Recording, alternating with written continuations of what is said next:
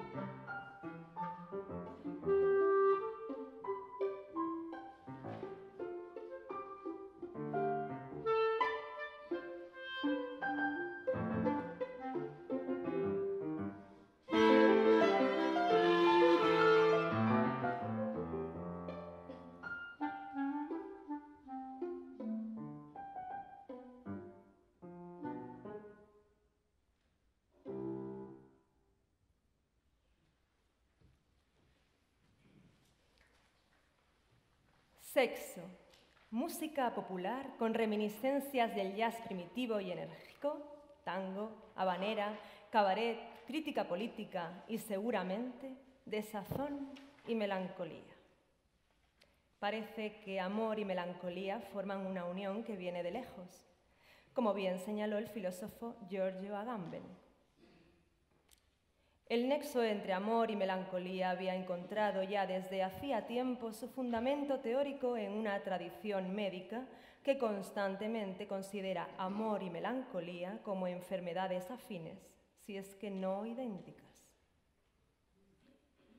En el estallido de los años 20, el concepto de amor había quedado pronto arrinconado como un colgajo romántico, como algo encajonado entre el corsé y el miriñaque que olía a pasado y a cuento para jóvenes. Sin embargo, el sexo tenía toda la potencia de la modernidad. Sigmund Freud lo había sacado del cajón polvoriento del subconsciente y además era divertido. Era una ecuación perfecta, pero quedaba la melancolía. La tozuda sensación de resaca que además de molestar al día siguiente, recordaba que esos dos sentimientos dúplices podían ser al mismo tiempo algo tan parecido a una enfermedad como a un remedio médico.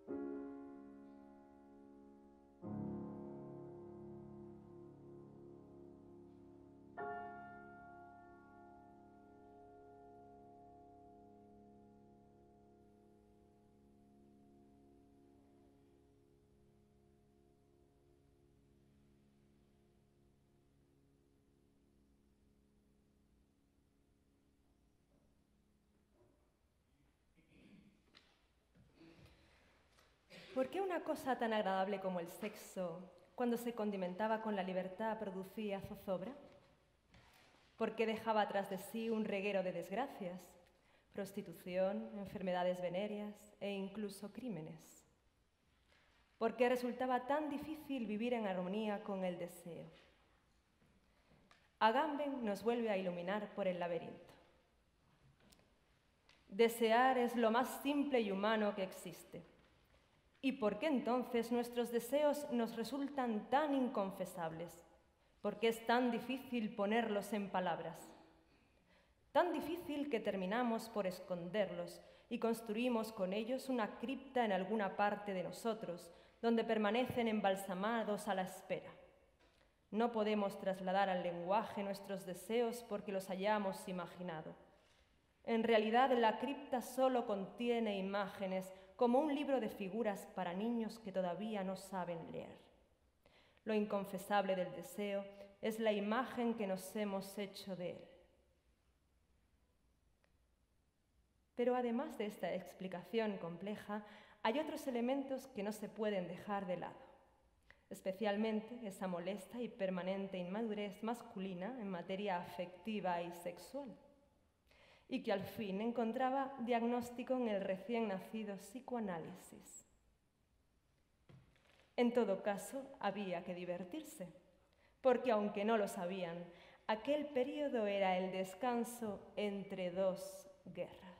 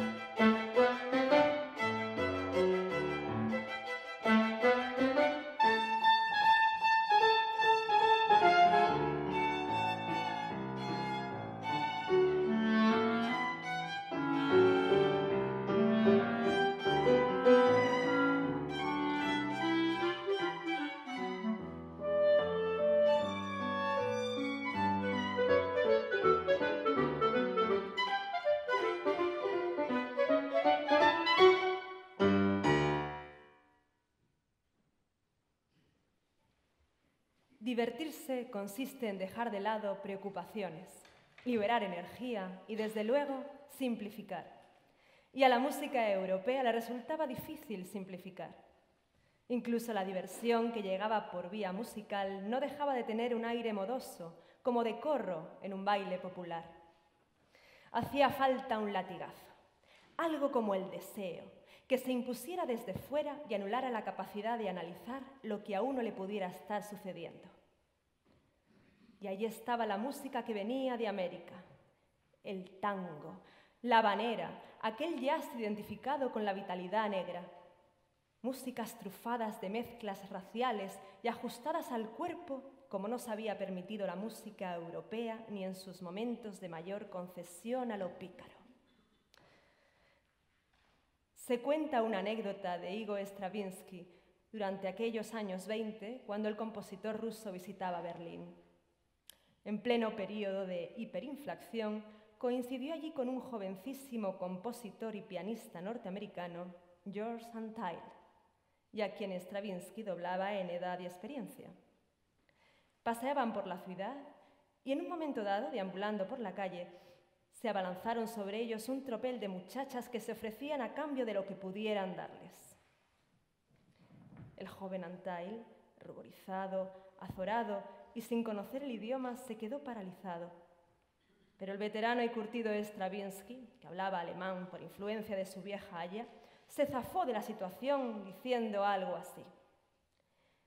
Lo sentimos, chicas, pero venimos de estar con otro grupo de chicas y estamos agotados.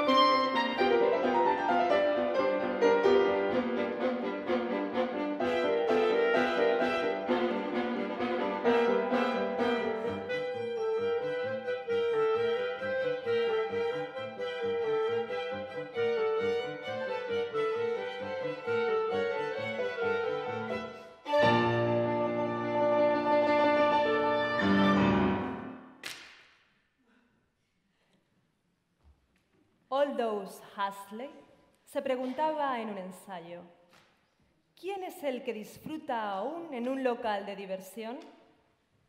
Pues con idéntico derecho podría preguntarse, ¿y a quién entretiene todavía la llamada música de entretenimiento? Antes, esta música podría ser complementaria al enmudecimiento del hombre, a la agonía del lenguaje como expresión, a la incapacidad de comunicarse con los demás, En ella habitaban las grietas del silencio que se abrían entre esa humanidad asediada por el miedo, la angustia, el ajetreo y la docilidad sin protesta. De esta forma, un poco tortuosa, se expresaba el filósofo Theodor Wissengón Adorno. Para él, la diversión o el entretenimiento musical constituyen la perfecta vecindad de la melancolía. Su buen amigo y frecuente colaborador, el compositor Hans Eisler, el compañero de Brest, expresaban opiniones similares. Lo que hace a esa música divertida es que resulta de fácil acceso, resulta fácil de comprender, ya que coge siempre los mismos caminos. No reclama ser oída con atención y concentración, porque la función de esa música consiste más bien en ser escuchada con un oído distraído, como cuando oímos la radio mientras nos ocupamos de otra cosa. Es curioso que el compositor marxista por antonomasia, el intelectual judeo-alemán, el defensor más conspicuo de una música puesta al servicio de la clase obrera, continuara defendiendo no solo el compromiso social desde la música, sino también el compromiso auditivo. Incluso en lugares tan privilegiados como el concierto y la ópera, el placer musical más inmediato se impone, permitiendo en gran medida divertir al auditor de la manera más viva y sin comprometerle a nada, ya que no le plantea ninguna exigencia. Es notable que la música ligera fuera tan imprescindible para la diversión y que a la vez estuviera tan estigmatizada en esos años por músicos y creadores de toda clase y condición. Quizá la excepción fuera de Bertolt Brecht, que no solo defendía lo popular, sino que tenía especial manía a no pocos episodios grandiosos de la tradición clásica. Beethoven, por ejemplo. De ese rechazo da cuenta un Aisla, siempre divertido con las ocurrencias de su genial y controvertido amigo. La versión de Brest por ciertos géneros musicales iban tan lejos que se inventó un nuevo género de composición que bautizó como misuka. Con ello entendía una forma de componer que se distinguía en lo fundamental de la música precisamente porque se trataba de misuka y no de música. Para un compositor es difícil describir este nuevo arte de la misuka no es decadente ni formalista, sino eminentemente popular. Recuerda sobre todo al canto de las criadas en un mediodía lluvioso de domingo en las grandes ciudades.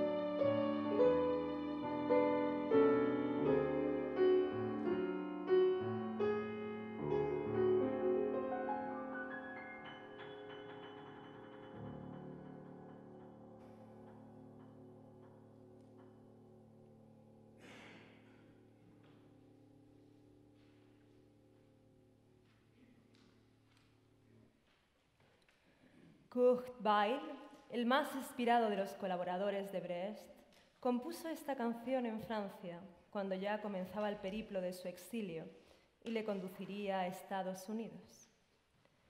El aire de habanera, cruzado con el tango de esta pieza, que primero fue instrumental y luego se convirtió en canción, formaba parte de una comedia musical de sonoro nombre, Maggie Galant. Nunca sabremos si Bertolt Brecht, que en esos años había dejado ya de colaborar con Bail, designaría a esta canción como Misuka.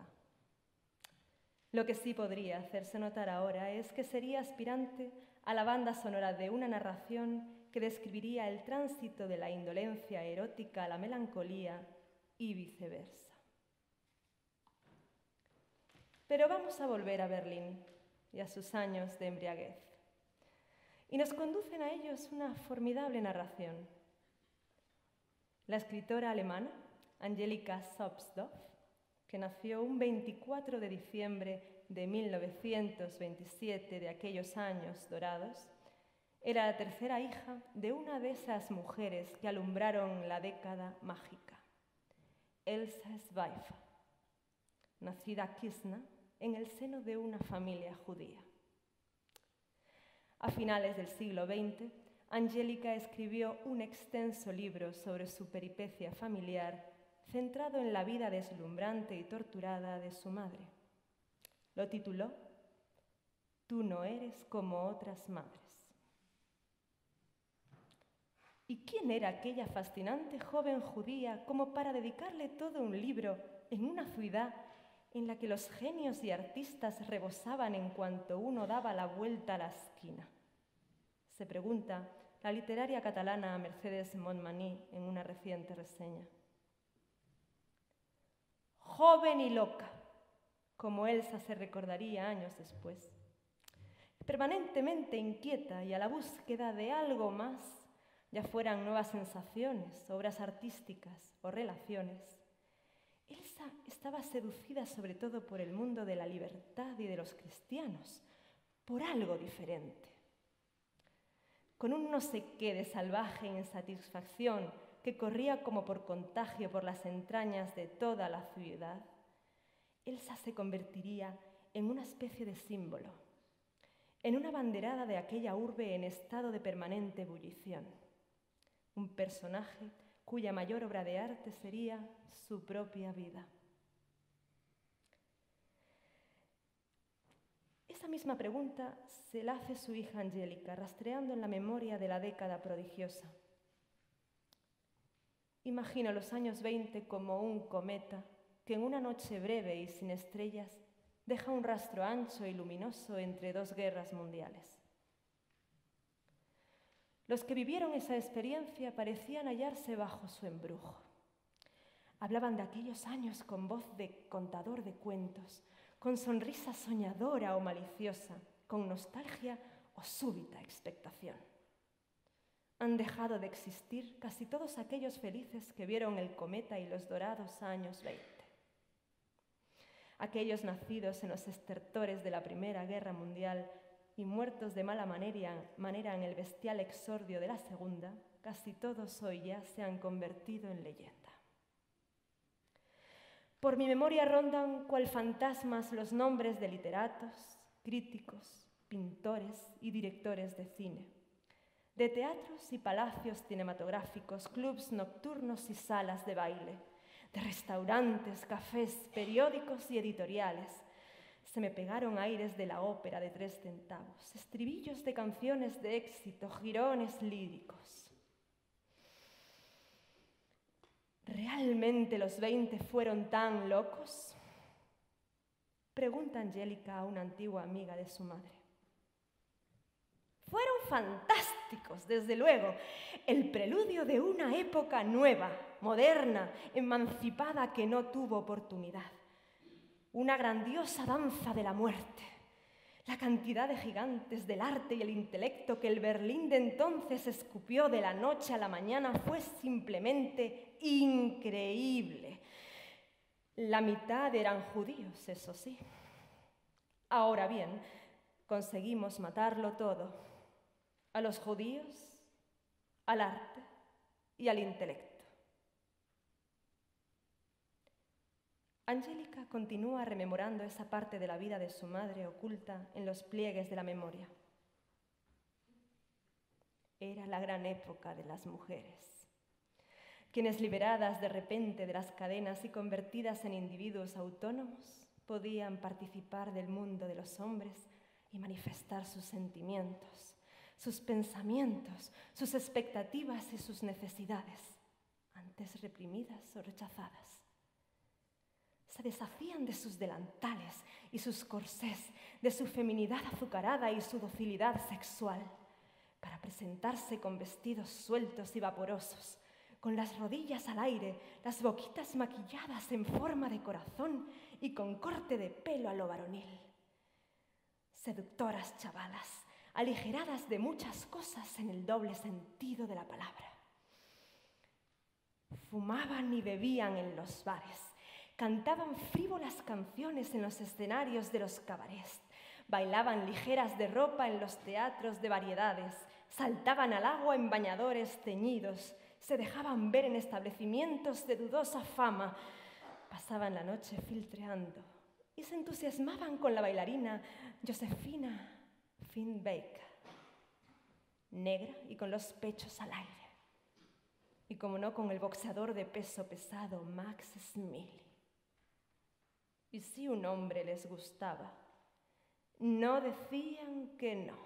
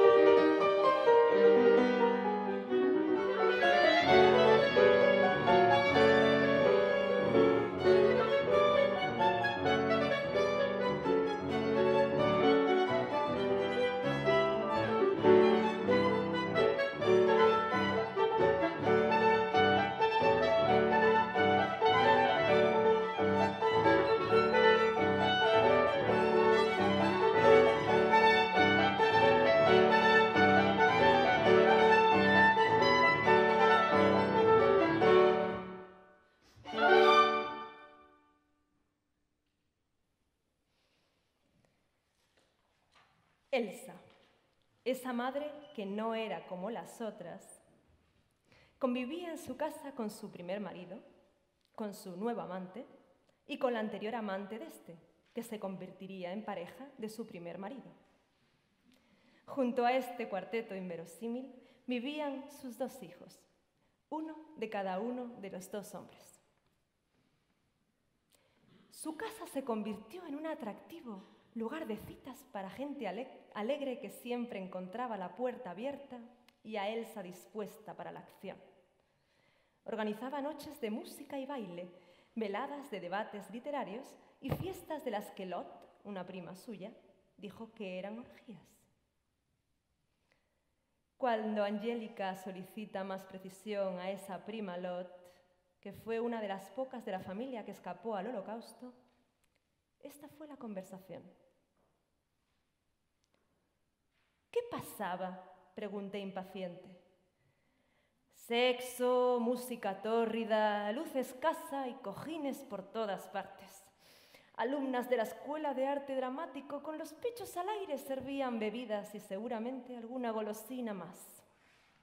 Y los invitados, tampoco mucho más abrigados, jugaban al bailoteo y manoseo. Bueno, cariño, tú no naciste ayer, ya me entiendes. Y sí, Angélica por supuesto que entendía.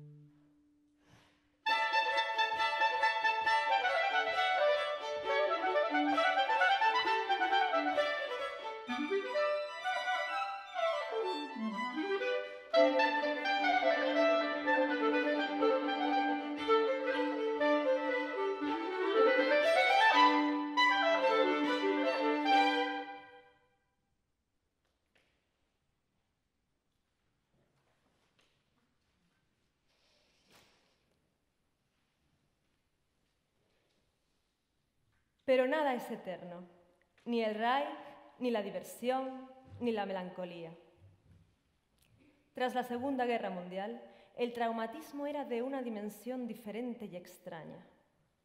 Los jóvenes que sobrevivieron ya no solo se habían convertido en incapaces de la experiencia, como la definió Benjamin, creían vivir en el fin del mundo. Un fin del mundo frío, glacial, en el que imperaba el silencio de la historia, el silencio de Dios, como lo definiría el cineasta sueco Inman Bergman o el dramaturgo irlandés Samuel Beckett. El propio Adorno, el filósofo alemán, que se preguntaba sobre la diversión en la música, hablaba ahora de cómo se podía hacer poesía después de Auschwitz.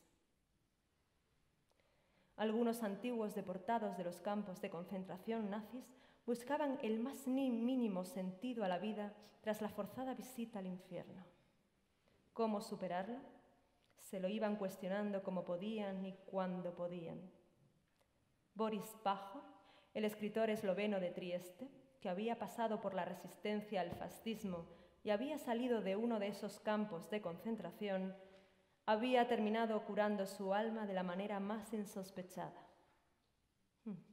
Primero fue el psicoanálisis luego los viajes, pero finalmente fue el amor. Como diría una canción vulgar de décadas pasadas y como él mismo ha manifestado. Pero ¿tenía el amor alguna opción en la devastación? ¿No había desaparecido del panorama de la experiencia en los locos años 20? ¿No era una antiguaya que apenas era capaz de definir las turbaciones adolescentes del periodo en el que las hormonas enloquecen? ¿No era la cara B de la melancolía? Pero así como la hierba puede crecer en algunos intersticios de las aceras de las calles, así puede reaparecer el amor. Esa vieja figura sentimental que la burguesía había manoseado y mercantilizado. El 27 de octubre de 1949, el boxeador francés Marcel Cerdan toma un vuelo con destino a Nueva York. Allí iba a encontrarse con su amante, la cantante francesa Edith Piaf. El vuelo no llegaría nunca. Esa noche del 27 de octubre se estrelló en la isla de Saint Miguel, en las Azores. Edith Piaf no se recuperaría nunca del golpe. Exceso de medicinas, morfina, abatimiento y canciones consumieron los 14 años que sobrevivió a la muerte de quien definió como el gran amor de su vida. El boxeador de origen argelino y la cantante forjada en los arrabales y los prostíbulos de París eran dos mitos en Francia y en Europa, dos figuras marcadas por profundas heridas, su historia de amor no fue fácil. El boxeador estaba casado, tenía tres hijos y aún no había planeado la separación cuando la muerte se cruzó en su camino. Había alcanzado el campeonato del mundo de los pesos medios en 1948. Lo había perdido en junio de 1949 y esperaba recuperarlo a finales de ese mismo año. La suerte parece esquivar a las personas que marcadas por la vida. Segdon ha sido y aún es quizás el mejor boxeador francés de la historia. Y Piaf ha sido la voz inigualable de Francia. El amor, el dolor, la melancolía y la rabia de la gente de la calle eran sus señas de identidad. Podía amar a alguien con desesperación hasta la madrugada y luego volver a empezar con las manos vacías. Edith y Marcel fue el encuentro de dos perdedores que habían triunfado. Era el símbolo de una Europa, de una Europa noqueada, desorientada y dolorida hasta sus fibras más íntimas. Una Europa que se sospechaba sin destino. Es un modesto ejemplo como para decir que el amor sería la cura para Europa, pero es un testimonio, tan emotivo como estremecedor, sí. Y lo iba a poner en escena Edith Piaf. Sí, el 2 de mayo de 1950 graba una canción, Hymne à l'amour, su respuesta a la pérdida de Marcel Cerdan con música de una compositora fiel colaboradora suya, Marguerite Monod, y con letra de la propia cantante, nos deja una huella musical que aún resuena en el imaginario europeo.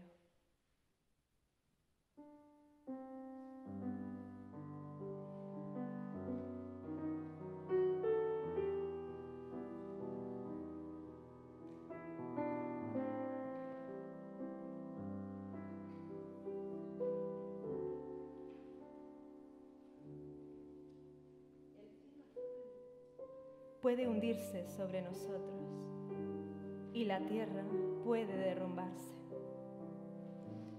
Me da igual si tú me amas, no me importa el mundo entero. Si un día la vida te arranca de mí, si mueres y si estás lejos de mí, poco importa si me amas, porque yo moriré también tendremos la eternidad para nosotros en el azul de toda la inmensidad.